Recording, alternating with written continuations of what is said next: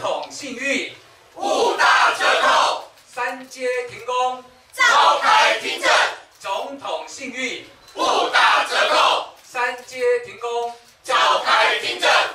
这是我们抢救大谈早教第一百零七次的记者会。那我们很沉痛的啊，在这里表达我们的啊心声，因为我们知道六月四号呢，我们其实有跟总统见面，那总统也释出善意，之后呢就有六月十八号的所谓沟通平台会议。那我们也经过总统府副秘书长李俊义副秘书长啊亲口的表示说，沟通期间呢，那个海上会影响早教的工程呢，他有请他们暂时绝对不可以动工。但是很遗憾的呢，我们七月十五号的时候，我们的职工就拍到了这张画面。那我们也在随后到现场去看，这里已经是三个大型的沉箱。这个沉箱呢，每一个是二十五公尺长，二十五公尺宽，高度是十六公尺。光是这三个合并起来就将近零点二公顷。那我们也知道，要让这些大型的沉箱呢，在这里啊坐落的稳定，它必须要有一些防护的措施。这个是沉箱的宽度，防护的措施两边各是十六公尺和十三公尺。那我们这样数字一计算之下，就发现到这个地方又破坏至少零点五公顷。那么今年三月二十八号呢，我们都已经知道，他们的工作船搁浅，然后就造成了零点五八公顷的早礁的伤害。那包括一级保育类的柴山多杯孔珊瑚呢，也都受到严重的破坏。可是，在环评的过程里面，我们还没有看到我们的相关主管单位呢要求停工。桃园市市长自己在二零一八年十月九号的时候，我们环评刚通过的第二天，他就表示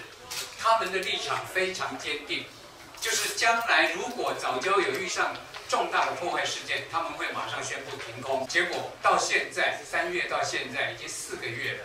我们没有看到任何的实际的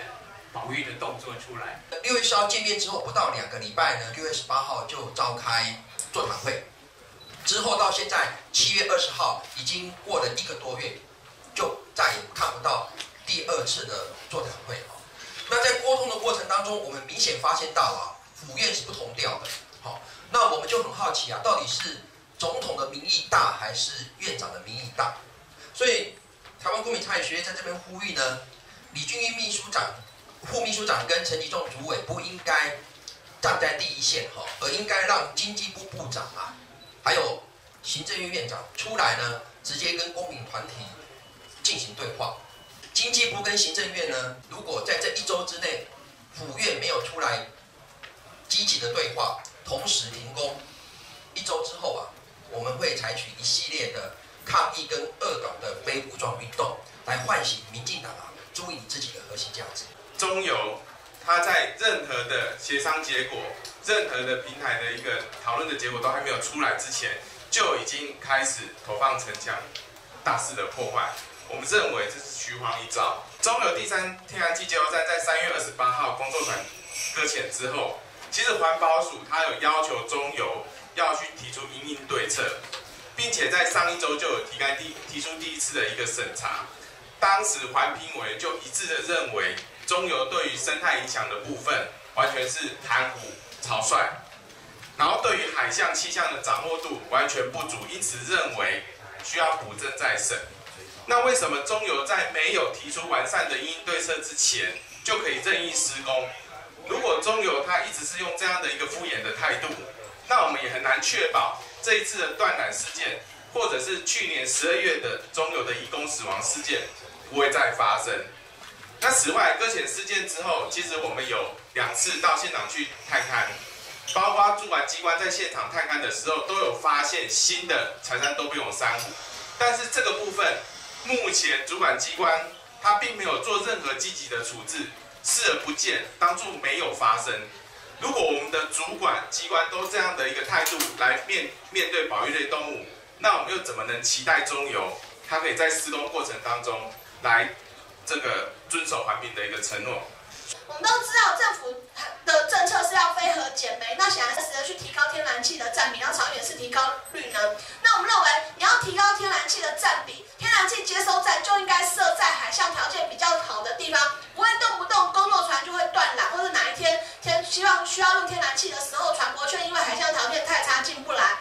希望政府能够早日的回头，重新的去考虑第三间的一个适当的替代方案，不要在这里继续破坏生态，又影响未来的能源安全。那其实我们大家都知道，这里是柴柴山多杯孔珊瑚非常重要的栖息环境，在柴山多杯孔珊瑚的最早发现的原生环境，其实已经快要找不到了。那这个地方是少数，就是等于是第二栖息地，也是最重要的一个栖息地。但是我们看到中油就柴山多杯孔珊瑚的调查。它是采水下摄影的方式，可是我们都知道，柴山多杯孔珊瑚它的体型是非常娇小，那它又生活在相对浑浊的一个海域，而且是又是比较劳动比较大，然后沙泥沙也比较多的一个地方。事实上，水下摄影根本就没有办法精确的调查。中游的调查资料里面有很多记载说水浊、强流、泥质层沙多、沙多等这样的一个记录。那我们认为中游明明知道这边的环境是没有办法用摄水下摄影来调查，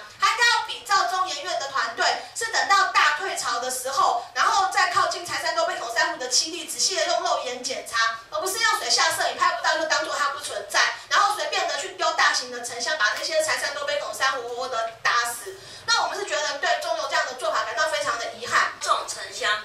它打得很深，然后它沉箱打下去之后会影响漂沙，还有整个这个海流的影响。更严重的是底床那个海底的底床呢也会受影响。所以我们呼吁蔡政府应该要立即召开听证，厘清争议。